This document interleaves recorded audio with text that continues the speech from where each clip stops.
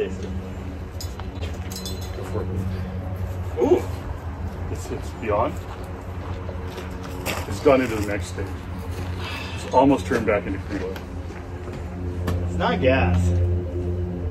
Rear end, tar. Yeah. Tar. Uh,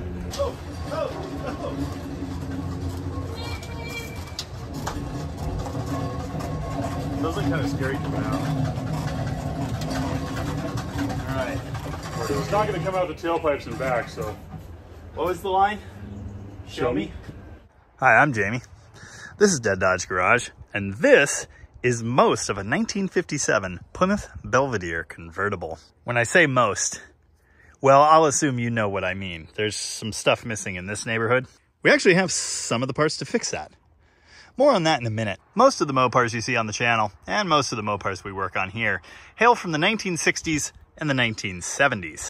A bodies, B bodies, C bodies, and even Dodge trucks. That's the kind of thing we're usually messing with around here. So many C bodies being reclaimed by the earth right now, it's ridiculous. In spite of all that, here at Rocket Restorations, we do actually have a love and an appreciation for Chrysler products of the 1950s, like this one. Tom found this thing over in like, I want to say Iowa or one of the Dakotas, who knows. He made the deal on it some time ago and only finally got it picked up on this last trip. In fact, if you paid really close attention to my ramp truck road trip video, there was a clip of this thing in there somewhere. Now you might already be looking at this thing and thinking, ah, Christine. Yeah, pretty close. This is a 57. Christine was a 58. It just so happens we're going to be putting 1958 fenders on it. That's this whole other thing. Apparently the previous owner was also a fan of the 58s, as I've been informed that this cluster is from a 58, as well as the steering column.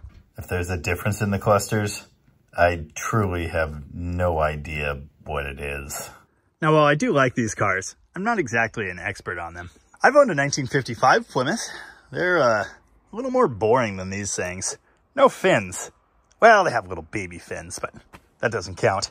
This car is a member of Chrysler's Forward Look. They were supposed to be very modern looking, you know, ahead of their time. They kind of were. Kinda. This car is a great example of the funkiness of the Forward Look era.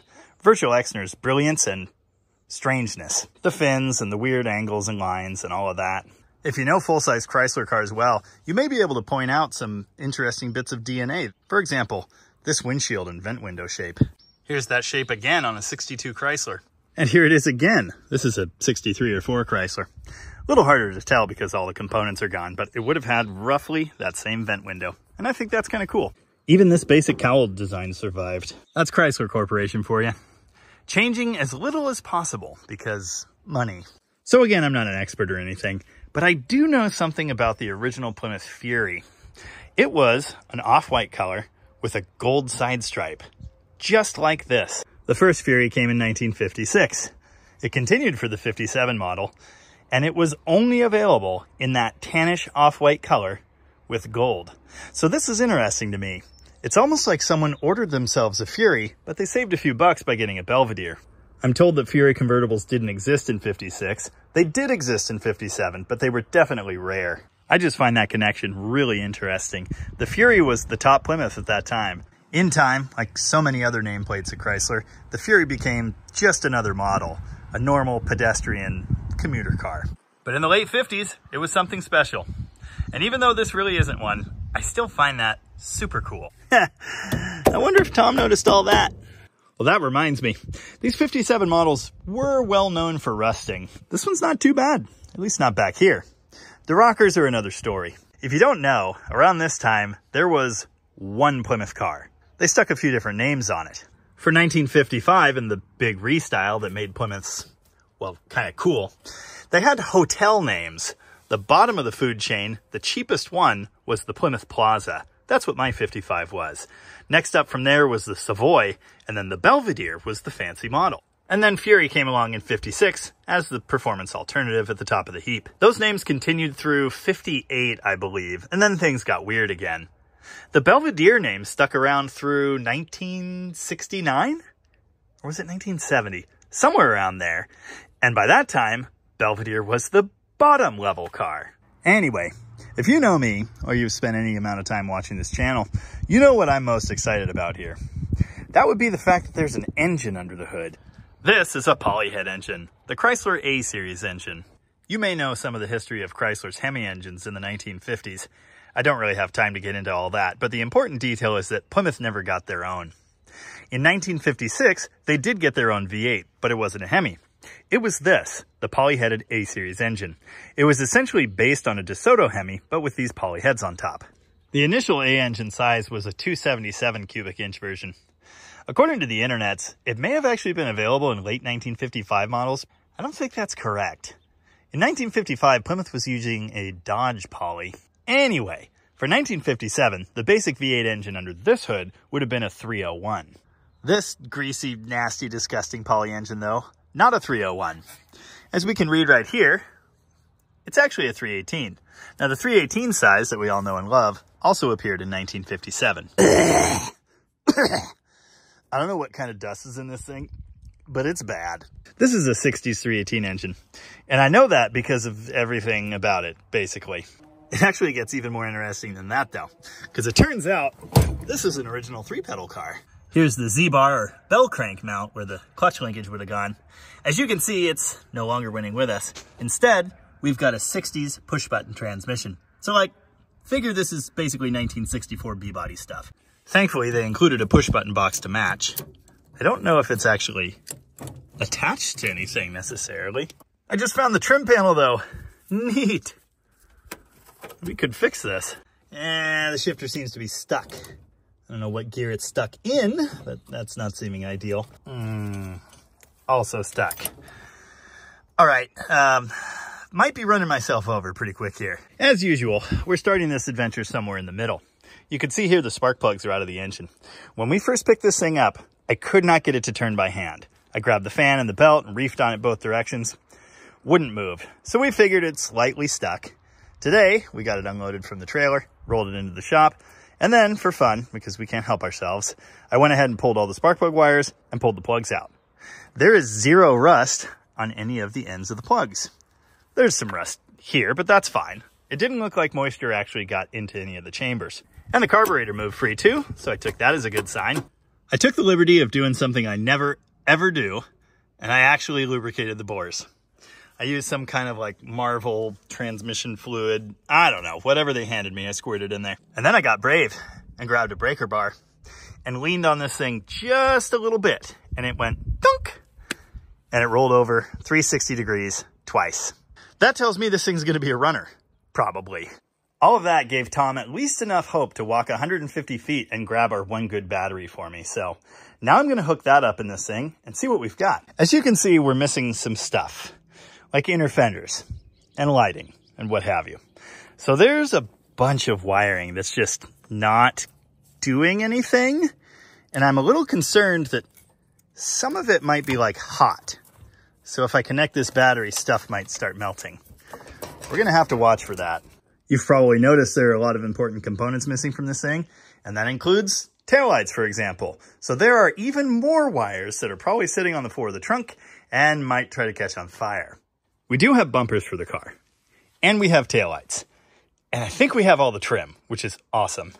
And the convertible top is here. It's ruined, but it's all here.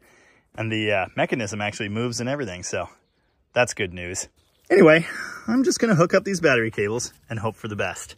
If this thing does run, we'll probably just like ratchet strap the battery in position and then we'll figure out something to do with all this stuff.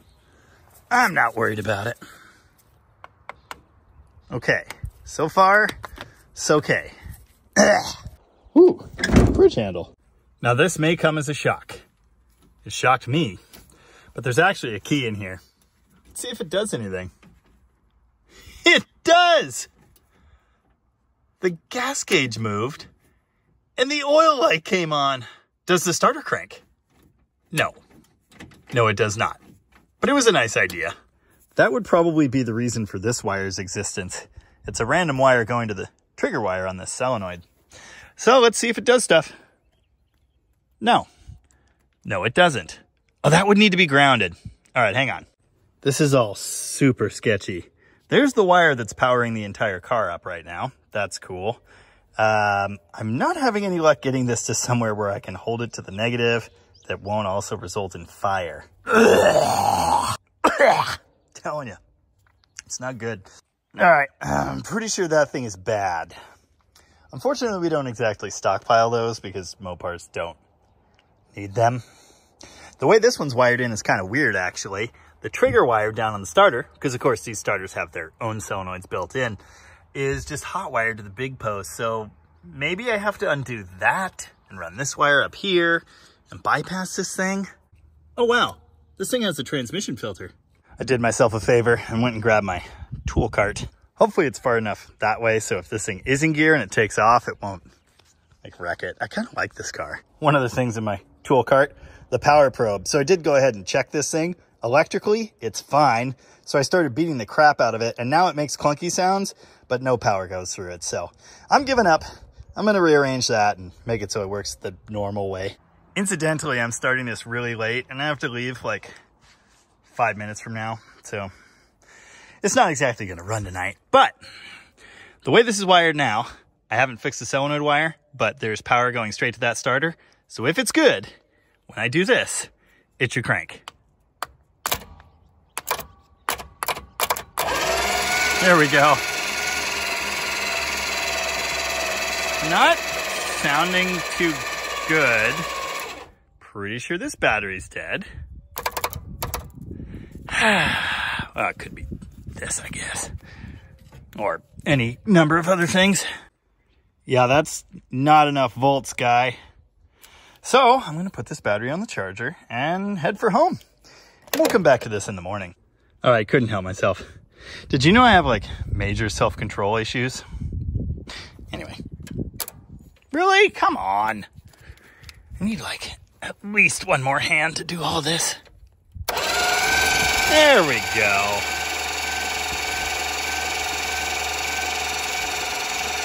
Okay. Put the plugs back in, figure out spark. 100 bucks says that's a runner. I shouldn't make that bet yet. I figured out some stuff. cool. Oh.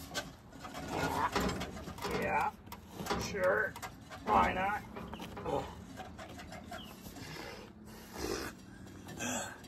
No, don't worry. I got it. I got it. It's fine. It's not. It's not fine. Did you know 57 was the first year for torsion bars?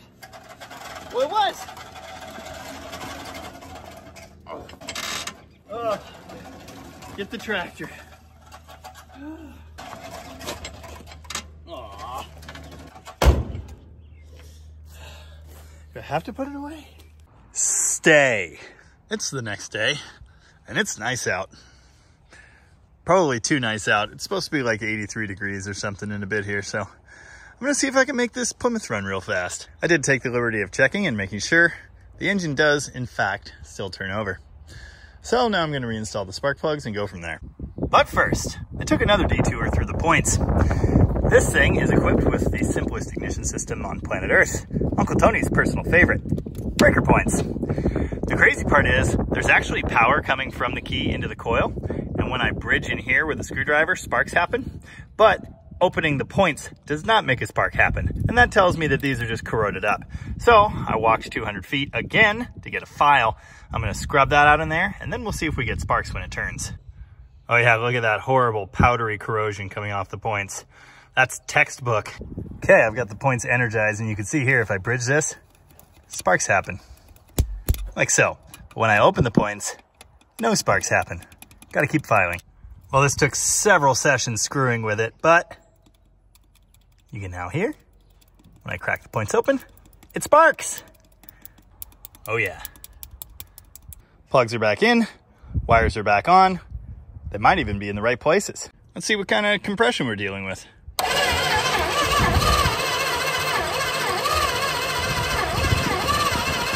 Okay, there's one really weak one and one slightly weak one. I'm not worried. All right, watch your toes. Oh, come on. Talk about anticlimactic.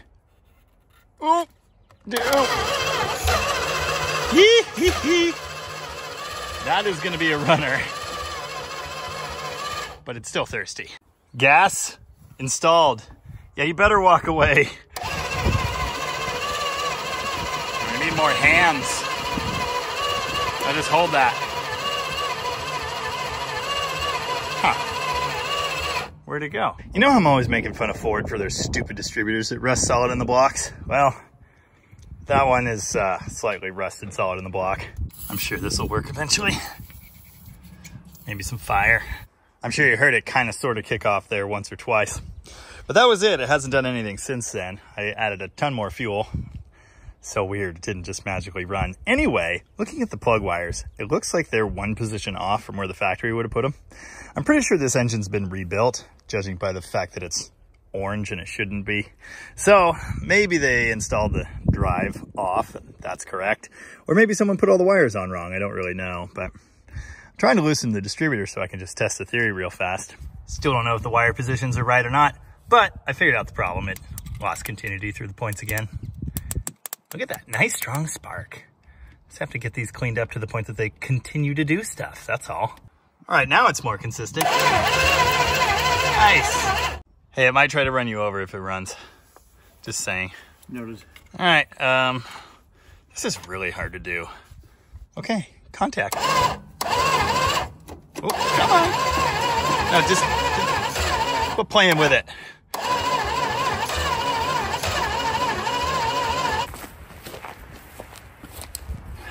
More gasoline. Something like that.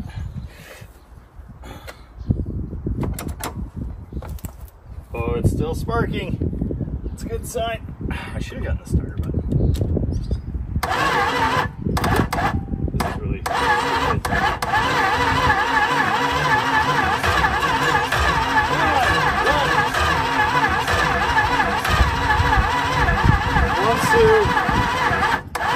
thought about it. It really wants to. I can't move the distributor because it sees solid. Oh, really? Yeah. Oh, I know. I've been spraying it and beating on it. Oh, this might do. There we go. Or maybe I'll just spray it. Come on, move. There we go. Nice. All right. Watch your head and your nuts and all that stuff. Nope. Okay. So it was right. It's just stubborn. Smoke it from the breather.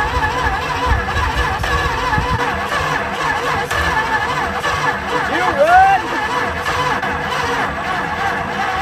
battery. There it goes. Yeah, battery cables are junk. I mean, basically everything's junk. Sounds like we're kind of sort of getting spark occasionally.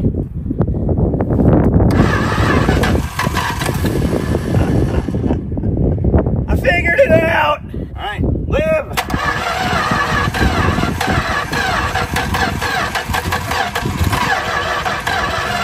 Let's give the timing a teeny tiny little bump. Just a little. I've found with these point systems, the timing really has to be close or they won't even try to start. Did you hear it run? You did. Briefly. Very briefly. Don't do this at home. Oh, that's where we're at. It's certainly still sparking, that's for sure. Brought the starter button for you. Oh, that's great. That'll make life a lot easier. Probably. I used to carry one in my box, but I think I left it on a car.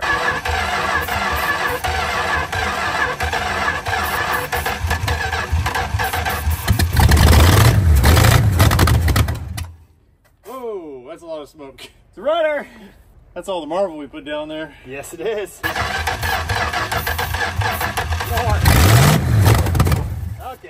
Okay, okay. The plug's just soaking. I mean,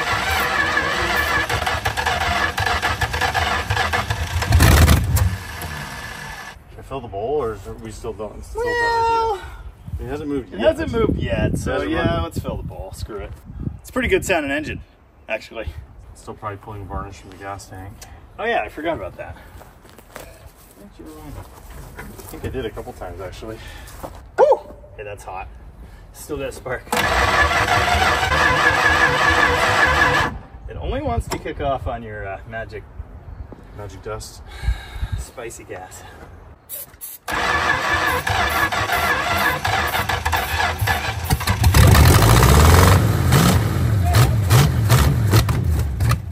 Doesn't seem to like running on the actual gasoline.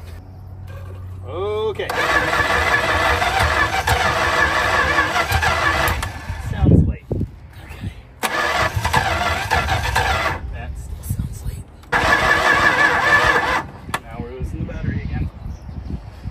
All right, it made smoke, but it's stubborn. I gotta think about this. Now, one thing I need to do pretty soon here is wire in an ignition resistor. I thought there might be one hiding somewhere or like a resistor wire or something, but it sure seems like this thing's getting a hot spark. I don't really want to melt down the points because then I'll have to change the points. This will prevent that issue by limiting the current that goes to the points.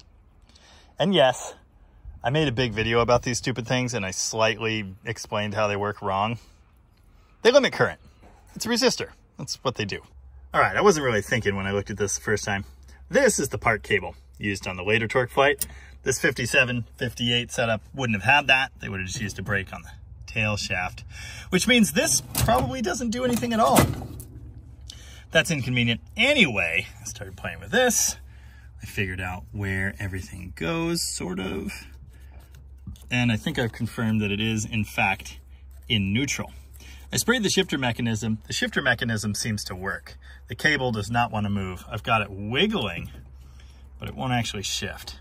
And that will eventually become a problem. For whatever reason, even though it moves up here, this shift cable is like seized down below. It's gonna be really hard to shift this thing without that. See, on the cable shift transmission, that cable goes inside. There's no lever out here. I couldn't even like reach down there and actuate a shifter of any kind if I wanted to. You know, the fact that the cable's melted to pieces could be related. Oh wait, no, that's the park cable. Uh, I don't know. It's all kind of bad news. At least for now, it's in neutral, I think, so I probably won't get run over. I know this will come as a shock, but the needle and seat are bad. But now that there's gas everywhere again, I don't understand why it's so stubborn. It'll fire on ether, no problem.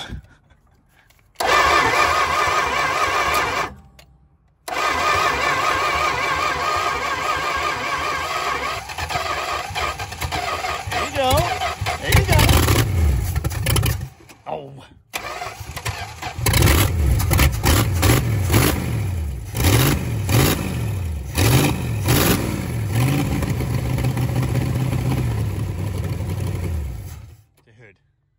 Dude, it's engine. I am shocked. I thought the needle and seat may have fixed themselves magically. No such luck.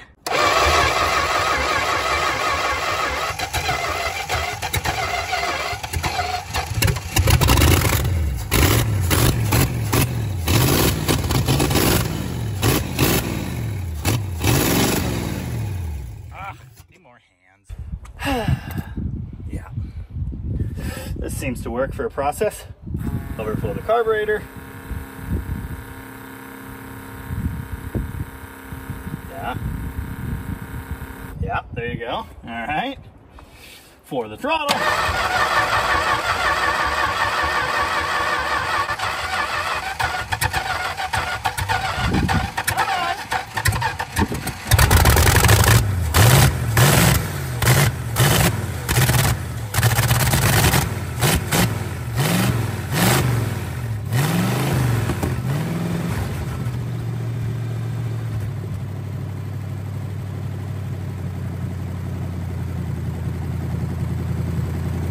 Yep.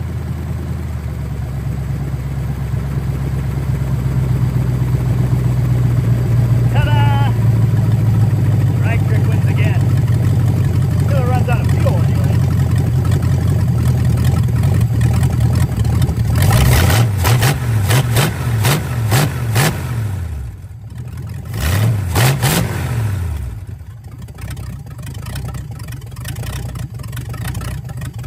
All right then.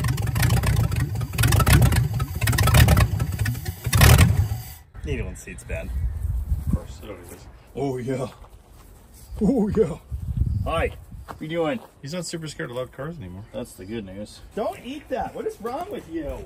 I might be taking things a little out of order here, but I think there's at least a passing chance I could have brakes on this thing. This is a single pot master cylinder, lovingly known as a pump and pray. So that's exactly what I'm going to do. Now I have studied this technique extensively. 60% of the time, It works every time. I just drop fluid in it and pump it for like five minutes. And often that results in working brakes. This really shouldn't work probably, but it keeps working, so I keep doing it. I happened to notice while I was trying to figure out the push button stuff that this seat is mounted on 2x4s. Incredible. I have not been doing this long, but I'm already feeling a little bit of resistance. This might work, except for the obvious fact that the master cylinder's bad. Ah! Good thing this carpet was already in pretty rough shape. Eh, maybe it'll magically reseal itself. No. No, it won't. okay. Gonna have to rob a pump and pray off something, but with that done, we might, yeah, still probably not have brakes. This is just so cool. It does the stuff. The needle and seat are definitely getting better. It takes longer for fuel to start pouring everywhere, so that's something. Remember, this thing was slightly seized yesterday, and today it does this. But does it do this? It does. Well, kinda. Oh, I probably could have been paying attention to the oil light. It's not making any horrible noises, so I think it's fine. An important note about the early 727, the push button one like this, it actually circulates fluid whether it's in park or neutral. In the later ones, you have to put them in neutral. So, the fluid level has gone down as it pumps fluid around the transmission. Gonna have to dump some in there at some point here. Tom has insisted that I share the random factoid with you that you can actually push start these things too, because there's a rear pump as well as a front pump. So just rolling the car in neutral, it makes fluid pressure. Enough that when you drop it in gear, it'll spin up the engine. All right, things are gonna get really goofy now. Because I'd like to drive this thing. We need a fuel system attached to the car, obviously. Need to strap the battery down. Arrange these electronic bits so they're not gonna get destroyed or short down or do anything horrible. And we still need that shifter cable. Brakes would be nice, but I'm not gonna insist on that. We're in kind of a goofy, unique situation with this one though. See, we've got a radiator, but the only thing holding it in place, transmission cooling lines and the radiator hoses. That's not ideal because it wouldn't take much to flop that thing back into the fan. We also have 58 fenders. Think I mentioned that. We'd really like to install those on the car so it looks like a whole car. Unfortunately, we don't have the essential piece here in the middle, the radiator support. It supports the radiator and also mounts the fenders. Thankfully, Tom's a hoarder, and somewhere over here in the pile is a pair of like 1961 Chrysler fenders. Next to them, I found this 1961 radiator support.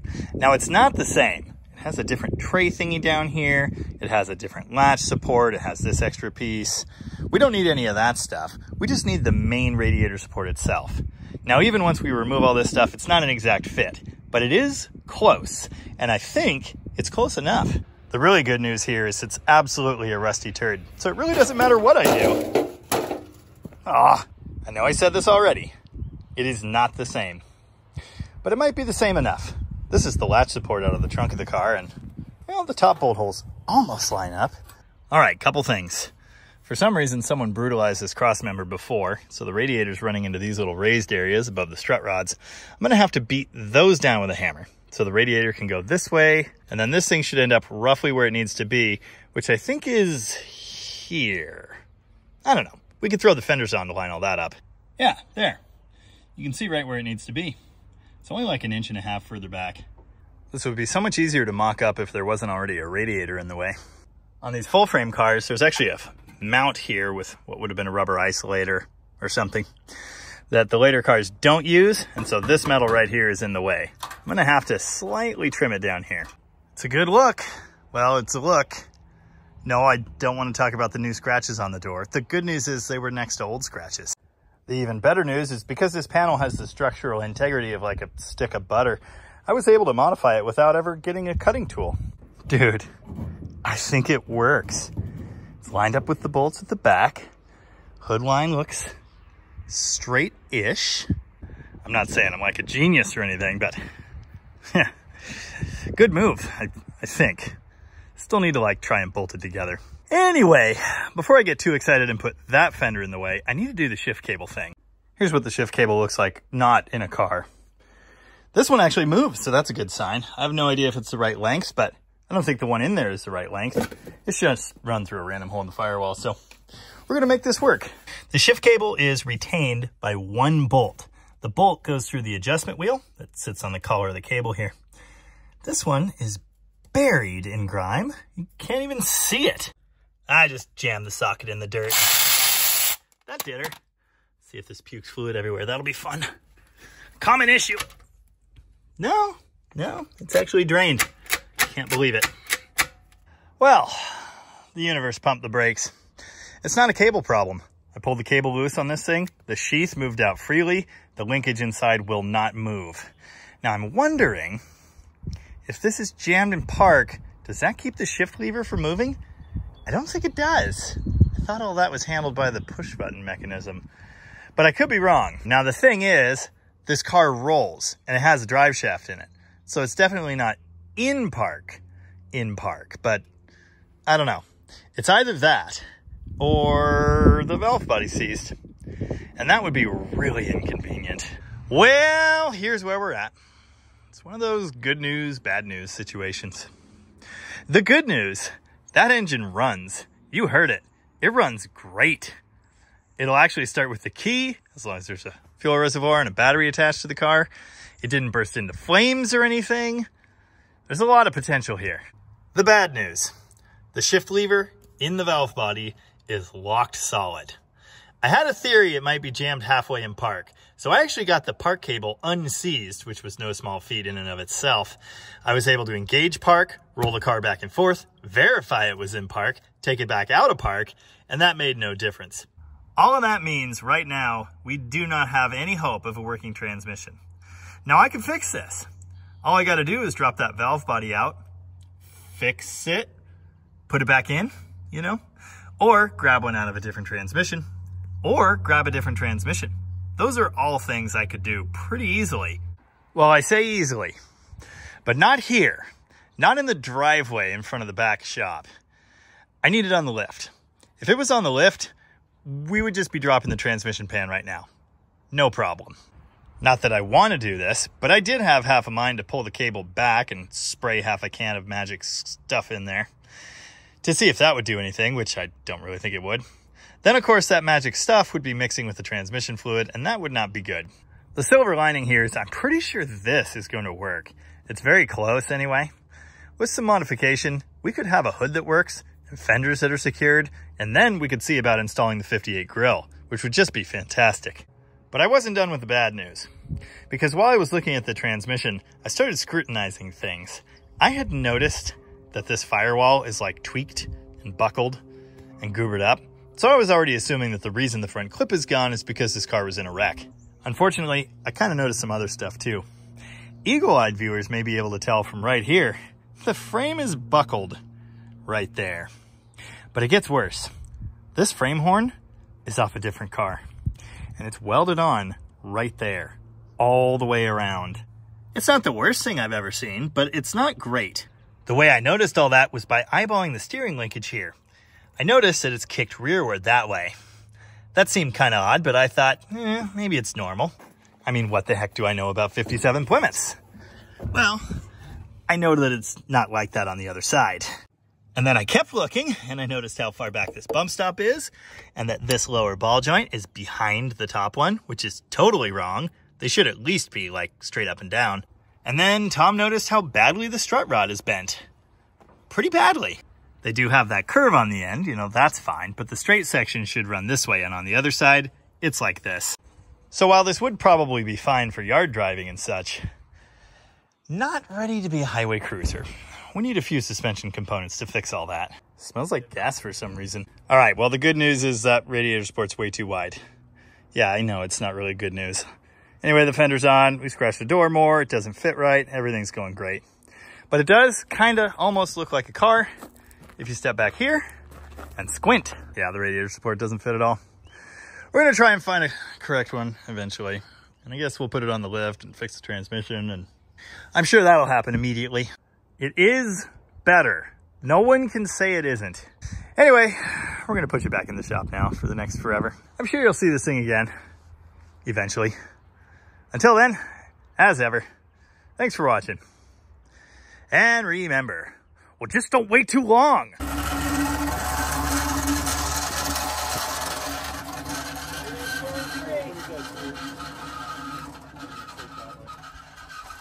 right.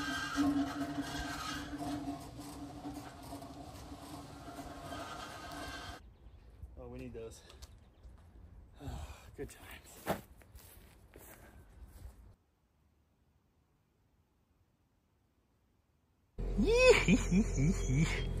Just a little fire.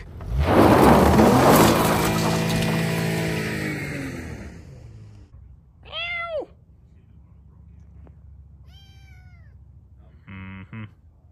Oh yeah, next time we do more Fury stuff.